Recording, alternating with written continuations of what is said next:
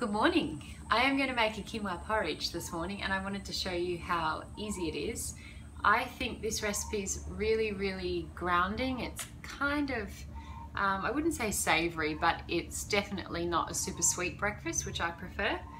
Um, and it's really bloody simple. So here we go. I've got a cup of quinoa flakes, which I'm going to put in the saucepan.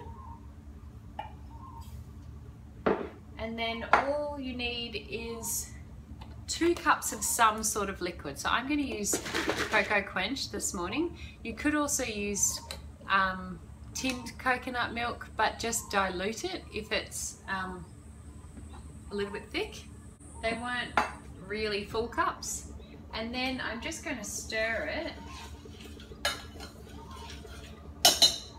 and leave it for a bit. While that's simmering, I want to show you some of the toppings. So I've cut up some quinoa, uh, quinoa, kiwi to put on top and some pawpaw.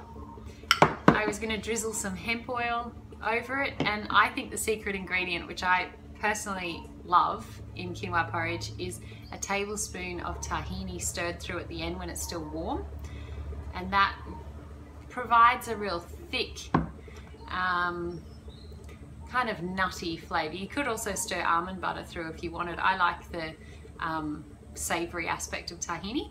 I've also got some coconut yogurt, so a dollop of that on top, some uh, cinnamon powder if you choose, some walnuts, some coconut flakes. You could even sprinkle some dark chocolate on top or shaved chocolate. The options are absolutely endless. I think personally today, once the quinoa porridge is cooked, I'm going to stir through my tablespoon of tahini, put some uh, dollop of coconut yogurt on top, some fresh fruit and some hemp oil. I think that's what I'm going to go for.